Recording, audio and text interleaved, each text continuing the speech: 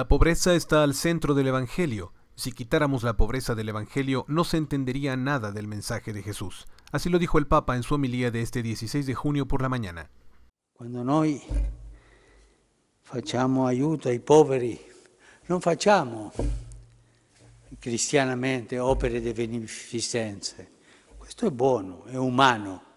Le opere di, di beneficenza sono cose buone e umane, ma questa non è la povertà cristiana che vuole Paolo, che predica Paolo. La povertà cristiana è che io do del mio e non del superfluo, anche del necessario, al povero perché so che lui mi arricchisce. E perché mi arricchisce il povero? Perché Gesù ha detto che lui stesso è nel povero. Questa è la teologia della povertà. Questo è perché la povertà è al centro del Vangelo. Non è un'ideologia. È proprio questo mistero, il mistero di Cristo che si è abbassato, si è umiliato, si è impoverito per arricchirci.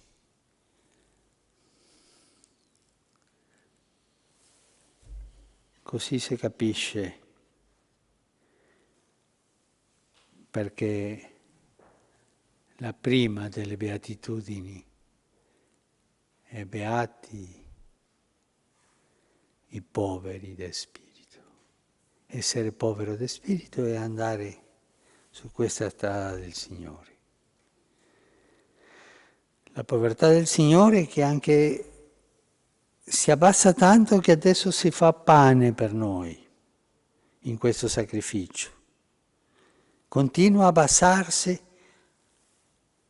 nella storia della Chiesa, nel memoriale della sua passione, nel memoriale della sua umiliazione, nel memoriale del suo abbassamento, nel memoriale della sua povertà.